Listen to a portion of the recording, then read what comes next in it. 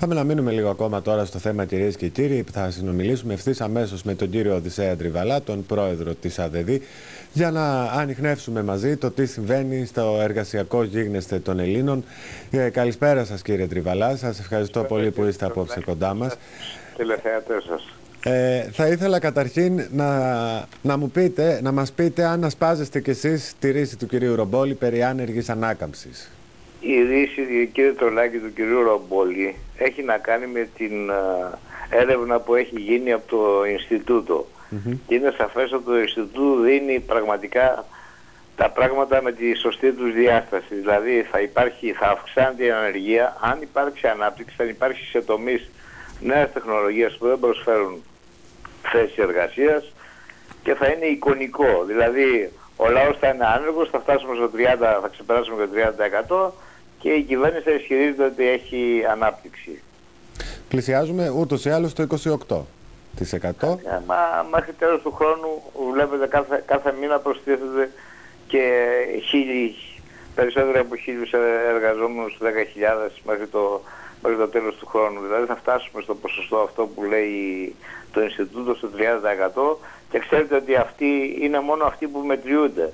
Αυτοί που δεν μετριούνται είναι πολλαπλάσιοι. Δηλαδή τα μαγαζιά που κλείνουν δεν, δεν μετρούνται στην ανεργία οι, οι ιδιοκτήτες, οι, οι, τα παιδιά που δουλεύουν μέσα. Οι εργαζόμενοι εκεί προφανώς. Ακριβώς. Ε... Οι εργαζόμενοι, ναι, αν είναι ιδιοκτήτες οι ίδιοι, ο ίδιος με το... Όταν είναι ιδιοκτήτες, έτσι αυτό το γνωστό πρόβλημα με τον ΑΕ, με τον ΑΕ άλλη μεγάλη πληγή. Α, και εκεί που είναι και ανασφάλιστοι οι άνθρωποι, ενώ έχουν πληρώσει 20-25 χρόνια σε μια δύσκολη κατάσταση. Μένουν χωρίς ασφαλιστική δεν, δεν χρηματοδοτεί κανένα ταμείο.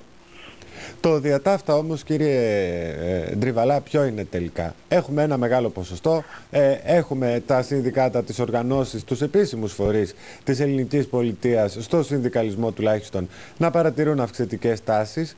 Ε, αυτοί που μπορούν να δώσουν τις λύσεις όμως τελικά τι συμβαίνει; Πιστεύετε ότι αφουγκράζονται τα δεδομένα; Είναι σίγουρος ότι δεν ξέρω ούτε τα αφουγκράζονται ούτε τα βλέπουν γιατί σε συνομιλίες που κάνουμε με τους εκάστοτε υπουργούς, ε, πραγματικά υπάρχει μια αντίληψη ότι σώζοντας τη χώρα ή παρουσιάζουν ένα πλεόνασμα που αυτό είναι εικονικό γιατί δεν πληρώνουν τις υποχρεώσεις σαν ελληνικό κράτος, νομίζουν ότι θα λύσουν το πρόβλημα. Τα προβλήματα δεν λύνονται έτσι.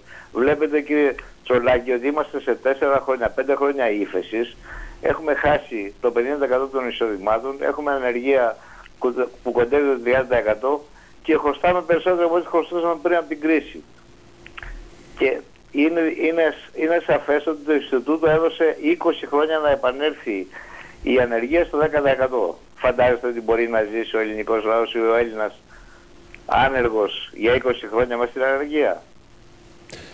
Η λύση όμως ποια είναι, ε, κύριε Τριβαλά; Ε, θα ήθελα να μου πείτε αν παρατηρείτε και εσείς μια παθητική στάση των Ελλήνων και θα ήθελα να σας πάω μερικές μέρες πίσω. Λυπά, λυπάμαι πραγματικά, αλλά έχετε απόλυτο δίκιο. Υπάρχει μια παθητική στάση των Ελλήνων, υπάρχει μια παθητική στάση των εργαζομένων. Η κυβέρνηση και το σύστημα γενικότερα λειτουργεί σοφά με την έννοια ε, ξεχωρίζει τους κλάδους, χτυπάει τον ένα κλάδο μετά τον άλλον και δημιουργεί αυτό τον κοινωνικό αυτοματισμό και δυστυχώς και τα συνδικάτα έχουν πέσει στην παγίδα αυτή. Γιατί και εμείς εσωτερικά έχουμε προβλήματα ή είχαμε τουλάχιστον προβλήματα με ομοσπονδίες που αισθανόταν ή εργαζόμενους σε κλάδους που αισθανόταν ότι ήταν στο απειρόβλητο και λέγανε ότι δεν θα έρθει η σειρά μας.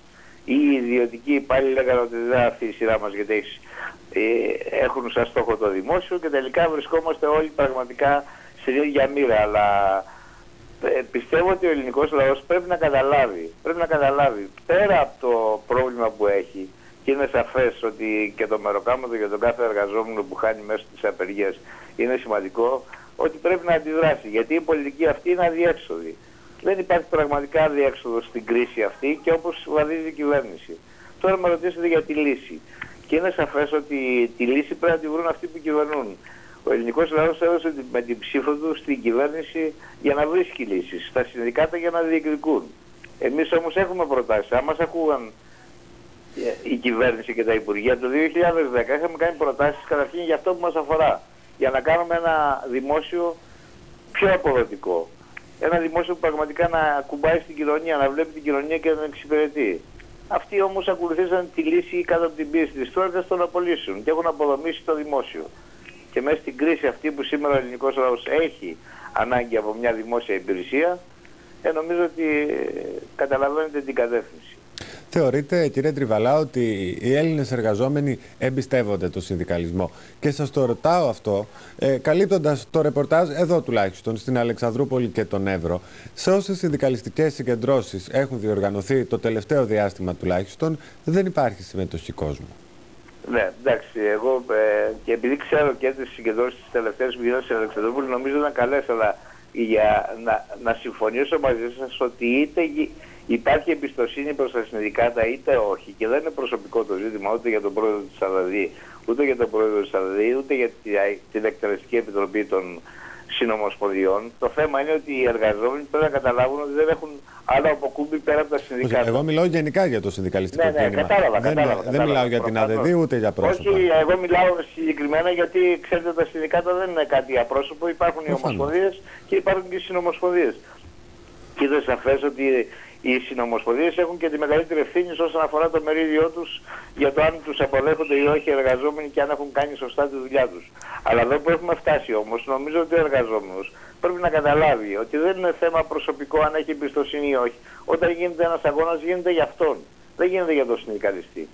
Θεωρείτε ότι, θεωρείτε ότι ο, οι αγώνες, οι διεκδικήσεις πρέπει να αλλάξουν τρόπους ή μορφή; Κύριε Τσολάκη, έχουμε, έχουμε δοκιμάσει όλους τους τρόπους. Εγώ λέω να, να αλλάξουν. Ξέρετε πόσο θεωρητικό είναι αυτό. Έχουμε δοκιμάσει απλή συλλαλητήρια, έχουμε δοκιμάσει συναυλίες, έχουμε δοκιμάσει τάσεις εργασίας, έχουμε δοκιμάσει καταλήψεις, έχουμε δοκιμάσει νομίζω όλες τις μορφές πάλι που υπάρχουν. Ξέρετε ποιο είναι το ζήτημα; Ότι αυτό το συνταγματικά κατοχυρωμένο δικαίωμα που είχαμε να συνομιλούμε με τις κυβερνήσεις και να μας ακούν και να τους ακούμε, έχει χαθεί πλέον υπάρχει μια άρνηση. Λέει ο Υπουργός ότι εγώ είμαι, έχω από το μνημόνιο απορρέει μια υποχρέωση δικιά μου να εφαρμόσω αυτό που λέει το μνημόνιο. Εσείς στα συνδικάτα κάνετε ό,τι θέλετε.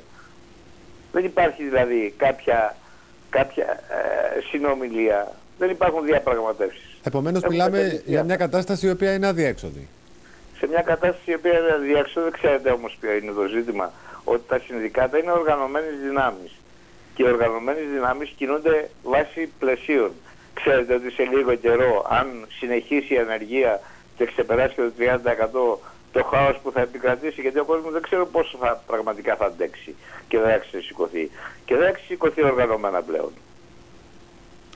Είστε δηλαδή και εσείς από αυτούς που φοβούνται μια άτακτη επανάσταση, αν μου επιτρέπετε όρος. Ναι, ναι, δεν, τώρα δεν ξέρω αν θα είναι επανάσταση, γιατί δεν φημιζόμαστε για τις επαναστάσεις μας. Θα είναι ε, έστω μια έκφραση οργής. Ναι, ναι, μια έκφραση οργής η οποία θα είναι πραγματικά χωρίς κανένα στόχο, χωρίς κανένα μια προοπτική, θα είναι τυφλή νομίζω.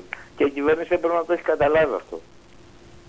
Και στην Ευρώπη. Εγώ γύρισα χθες το βράδυ από τη Γαλλία. Είχαμε ένα συνέδριο εκεί πέρα με τα με τις χώρες της Μεσογείου. Το πρόβλημα που υπάρχει στην Ελλάδα υπάρχει σε όλες σχεδόν τις ευρωπαϊκές χώρες εκτός από κάποιες χώρες του Βορρά. Ναι, εντονότερο στο Νότο, βεβαίως ακριβώς. Ναι, που είναι πολύ πιο έντονο γιατί η πλειοψηφία δεν είναι χώρες του Νότου. Το ίδιο πρόβλημα έχουν. Το, το ίδιο προβληματισμό βάζουν τα συνδικάτα ότι και εκεί μπορεί πραγματικά κάποια στιγμή να γίνει αυτό το μπαμ και να μην υπάρχει καμιά οργανωμένη αντίδραση. Περιμένοντας τον μπαμ λοιπόν. Και μιας και Είμαστε στην αρχή. Ελπίζω, να μην γίνει. Και εγώ, και εγώ και το ελπίζω και το εύχομαι.